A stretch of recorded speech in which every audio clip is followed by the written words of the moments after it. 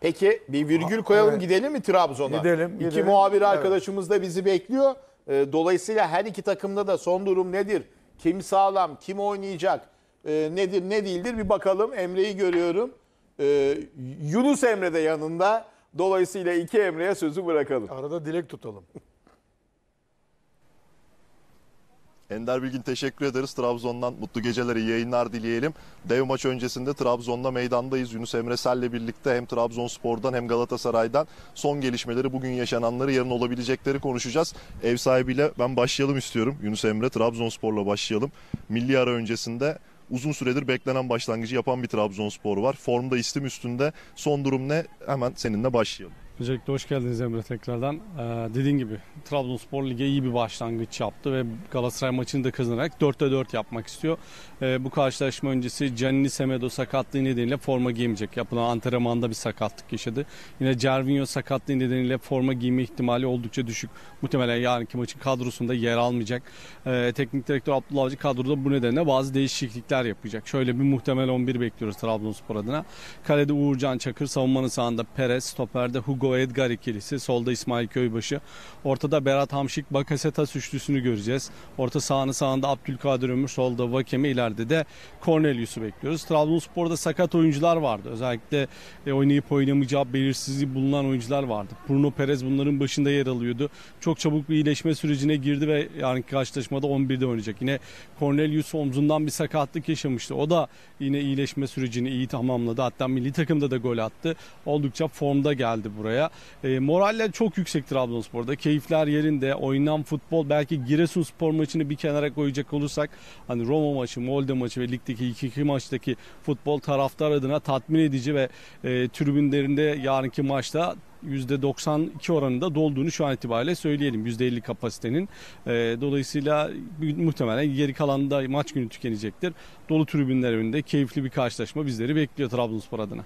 Ben de Galatasaray cephesini biraz aktarayım ki Galatasaray adına bugünün belki de en kritik durumlarından bir tanesi Fernando Muslera'ydı. Uruguay milli takımından uzun bir yolculuğun ardından döndü. Hatta biz havaalanında bekliyorduk Galatasaray'ı.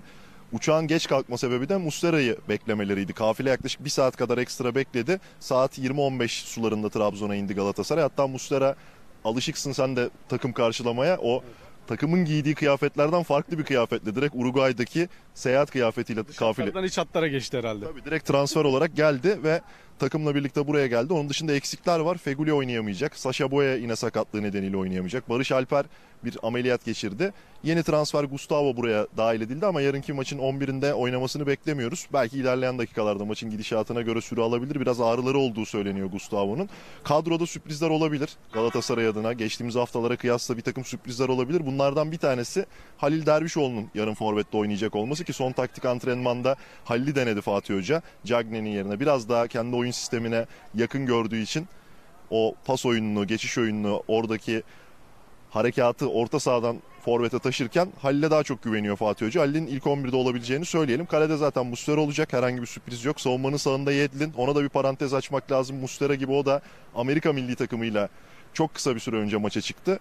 Çok fazla dinlenemeden o da sahada olacak. Savunmanın ortasında herhangi bir sürpriz yok. Zaten çok alternatif yok. Luyendama ve Nelson ikilisini göreceğiz. Sol tarafta Patrick Van Aanholt. Orta sahada yine bir sürpriz gerçekleşebilir. Aslında Berkan ve Taylan ikilisinin oynaması genel itibariyle. Genel beklenti bu yöndeydi ama orada bir Emre Kılınç sürprizi görebiliriz. Bugün taktik antrenmanda Fatih Hoca bunu denemiş. Berkan'ı 6 numara pozisyonda, Emre Kılınç'ı 8 numarada orta sahanın biraz daha sol iç gibi. Geçen sezonun başında da o, o şekilde kullanıyordu. Yine ona benzer bir görüntü olabilir.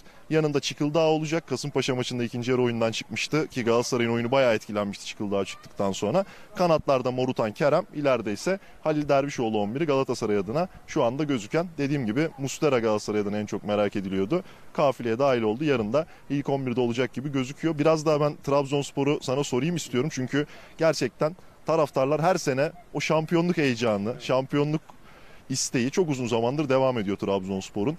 Belli noktaya kadar geliyor ama işte son haftalarda Başakşehir'le yaşanan bir çekişme vardı olmadı. Bu sene belki de son yılların en iddialı Trabzonspor'unu görüyoruz. Moraller iyi dedin ama bunu biraz daha açarsan seviniriz. Şöyle söyleyeyim aslında kurulan kadro Trabzonspor tarihindeki en iddialı, en geniş, en alternatifli kadrolardan bir tanesi. Gerçekten her bölgede hemen hemen birden fazla alternatif var. Bu çok fazla Trabzonspor'da görülen bir durum değildir. Yedek kulübesine bakıldığında tamam 2-3 oyuncu belki hamle şansı olarak görebilirsiniz ama şu an Trabzonspor'un ilk 11 dışındaki yedek kulübesine bakıldığında da direkt 11 oynayabilecek oyuncuların tamamının orada yer aldığını görüyoruz. Bu tabii Abdullah Avcı için çok büyük bir e, avantaj. Şu anda sadece Cervinho'nun olmayışı biraz onu e, ofansif anlamda zayıflatmış gibi gözüküyor. Orada Abdülkadir Ömür'e çok fazla güveniyor ama esas kilit nokta Vakeme bu sezona çok iyi başladı. 3 maçta 3 gol belli ki Fatih Terim de ona bazı önlemler alıyor. Özellikle de e, Emre Kılınç'ı belki biraz daha o kanada kaydırıp 7'nin performansını e, direkt Vakeme ile karşı karşıya bırakmama noktasında belki biraz ona önlem alacaktır. Çünkü Vakeme gerçekten formda ve e, Vakeme'yi motive eden noktalardan bir tanesi de sezon sonunda sözleşmesi bitiyor ve burada kalmak istiyor. Yönetim de onunla bazı görüşmeler yapacak. Bu onu ekstra motive ediyor. Dolayısıyla Trabzonspor adına kilit isim yarın yine Anthony Vakeme olacaktır. E, taraftara kavuştu. Taraftarların dolu olması, tribünün dolu olması onlar için çok ciddi bir e, motive kaynağı olacak ama şunu çok net söyleyeyim. Antrenmanlardaki neşe, motivasyon, hırs gerçekten çok fazla. Abdullah Avcı bu nedenle çok e, kıran kırana bir mücadeleden sonra çıkın, keyif alın. Bugüne kadar nasıl oynadıysanız bu karşılaşmada aynı motivasyonla, aynı inançla oynayın düşüncesinde taktik antrenmanlar yaptı. Öyle e, çok kırdı, kıran kırana agresif bir antrenmandan ziyade çok neşeli, keyifli antrenman metodu olduğunu söyleyebilirim. Dolayısıyla Trabzonspor adına yarınki karşılaşma belki de sezonun geri kalanına ışık tutma noktasında çok çok e, motive edici e, bir şeylerin işaretini gösterecek bir karşılaşma olacak bence. Çok teşekkür ediyorum Yunus Emresel. Zaten yarın gün boyunca maça dair tüm detayları Trabzon'dan aktarıyor olacağız diyelim. Trabzon'dan, şehir merkezinden son gelişmeler bu dakika itibariyle bu şekilde Ender Bilgin. Biz sözü size bırakalım. Evet arkadaşlar yarın yorucu bir gün olacak. Yoğun bir mesai var. Dediğim gibi hem Fenerbahçe Demirgrup Sivas Spor hem Trabzonspor Galatasaray maçını yarın pazar ekranında A-Spor'un gün boyu bütün ayrıntılarıyla bulabileceksiniz. Şimdi kadrolar iki yanımda. Sadece 7 dakikamız kaldı. Ee, şöyle kısa kısa toparlayalım istiyorum. Sağda Boye Sakat Yedlin var. Ee, ileride Halil oynuyor Galatasaray'da. Belki bir Emre Kılınç sürprizi olabilir dedi bizim Emre. Öte yanda Abdülkadir Ömür var sağda. Ee, Cervinho sakat. Belli de olmaz. Bakarsın şey olur burada. Galatasaray'da. Kim? Oğulcan oynayabilir. Trabzon geçen sene çok formda diyorlardı. Morutan da Çiçildağ göbekte oynayabilir. İkisi birden. Çiçildağ Taylan'ın önüne yanına gelebilir. Berkan oynamaz. Ee, Morutan oynar forvetin arkasında. Yani o Kadrolar böyle. bence yani Galatasaray'da da birkaç alternatif var. Cornelius ileride ee, şeyi düşünmemiş. Galatasaray'ın Cornelius'un kafa toplarına dikkat etmesi Canini'yi lazım. düşünmemiş. Belki Canini, hocam sen mi söylüyordun? Evet. Sağda olabilir miydi Ya diye. Abdülkadir Ömür yani kuvvetsiz sakatlıktan çıktı. Türk maç olarak ritmi yok. İsmail var Yani Canini'nin solda. Canini'nin maç temposu da var. Uğurcan, Güçlü, Berat. etkili. Yani e, tabii tercih Abdullah Hoca'nın ama